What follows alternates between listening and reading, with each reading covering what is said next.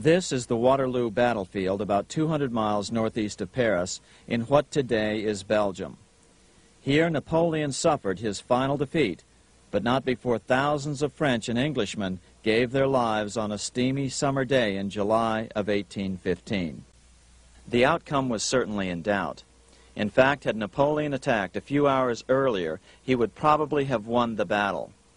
But no matter who won or lost back in London, Nathan Rothschild planned to use the opportunity to try to seize control over the British stock and bond market and possibly even the Bank of England.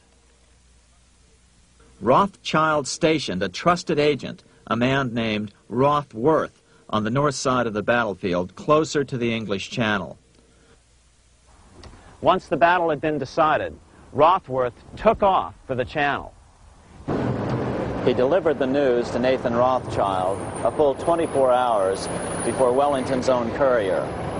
Rothschild hurried to the stock market and took up his usual position in front of an ancient pillar. All eyes were on him. The Rothschilds had a legendary communications network. If Wellington had been defeated and Napoleon was loose on the continent again, Britain's financial situation would become grave indeed.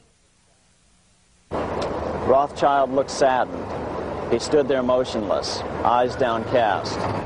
Then suddenly he began selling. Other nervous investors saw that Rothschild was selling. It could only mean one thing. Napoleon must have won, Wellington must have lost. The market plummeted.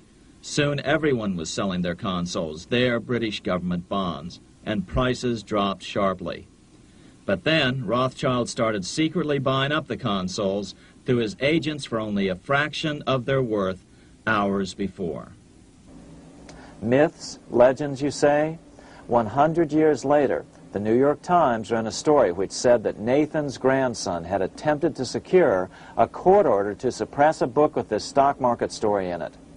The Rothschild family claimed the story was untrue and libelous, but the court denied the Rothschilds' request and ordered the family to pay all court costs. What's even more interesting about this story is that some authors claim that the day after the Battle of Waterloo, in a matter of hours, Nathan Rothschild came to dominate not only the bond market, but the Bank of England as well.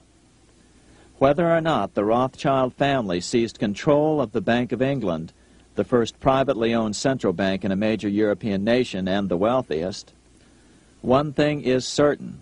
By the mid-1800s, the Rothschilds were the richest family in the world, bar none. They dominated the new government bond markets and branched into other banks and industrial concerns. In fact, the rest of the 19th century was known as the Age of the Rothschilds. Despite this overwhelming wealth, the family has generally cultivated an aura of invisibility.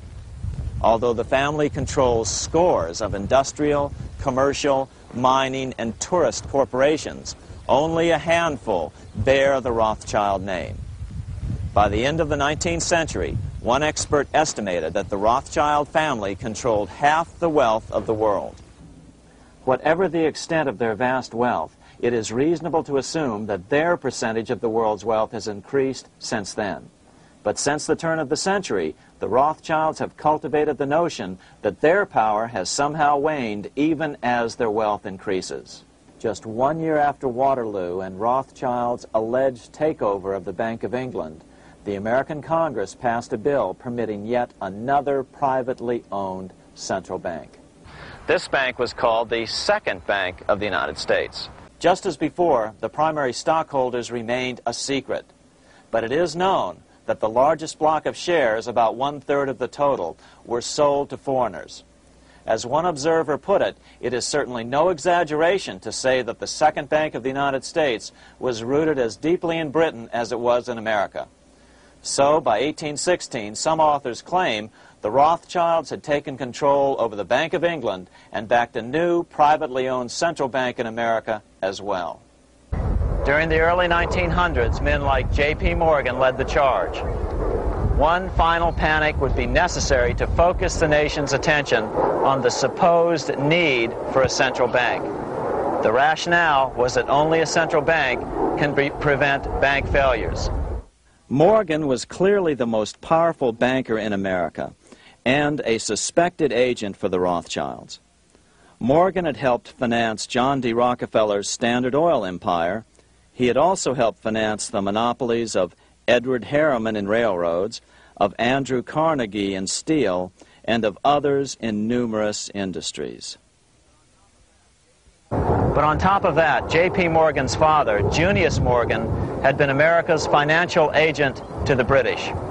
After his father's death, J.P. Morgan took on a British partner, Edward Grenfell, a longtime director of the Bank of England. By 1907, the year after Teddy Roosevelt's reelection, Morgan decided it was time to try for a central bank again.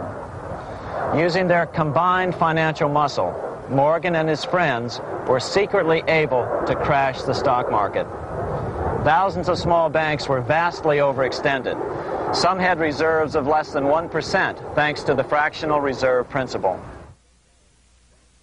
Within days, bank runs were commonplace across the nation. Now Morgan stepped into the public arena and offered to prop up the faltering American economy by supporting failing banks with money he manufactured out of nothing. It was an outrageous proposal, far worse than even fractional reserve banking, but Congress let him do it. His plan worked. Soon, the public regained confidence in money in general and quit hoarding their currency. But as a result, banking power was further consolidated into the hands of a few large banks. By 1908, the panic was over, and Morgan was hailed as a hero by the president of Princeton University, a man by the name of Woodrow Wilson. The money changers had been able to create a series of booms and busts. The purpose was not only to fleece the American public of their property, but to later claim that the banking system was basically so unstable that it had to be consolidated into a central bank once again.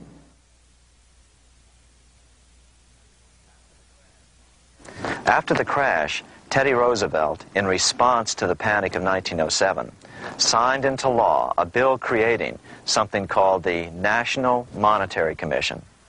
Of course, the commission was packed with Morgan's friends and cronies. The chairman was a man named Senator Nelson Aldrich from Rhode Island. Aldrich represented the Newport, Rhode Island homes of America's richest banking families. His daughter married John D. Rockefeller Jr., and together they had five sons John, Nelson, who would become vice president in 1974, Lawrence, Winthrop, and David, the head of the Council on Foreign Relations and former chairman of Chase Manhattan Bank. As soon as the National Monetary Commission was set up, Senator Aldrich immediately embarked on a two-year tour of Europe, where he consulted at length with the private central bankers in England, France, and Germany. The total cost of his trip alone to the taxpayers was $300,000, an astronomical sum in those days. Shortly after his return, on the evening of November 22, 1910, some of the wealthiest and most powerful men in America boarded Senator Aldrich's private rail car and in the strictest secrecy journeyed to this place, Jekyll Island, off the coast of Georgia. With the group came Paul Warburg. Warburg had been given a $500,000 per year salary to lobby for the passage of a privately owned central bank in America by the investment firm Kuhn Loeb and Company. Warburg's partner in this firm was a man named Jacob Schiff, the grandson of the man who shared the Greenshield house with the Rothschild family in Frankfurt. Schiff, as we'll find out later, was in the process of spending $20 million to finance the overthrow of the Tsar in Russia. These three European banking families, the Rothschilds, the Warburgs, and the Schiffs, were interconnected by marriage down through the years just as their American banking counterparts, the Morgans, Rockefellers, and Aldriches were.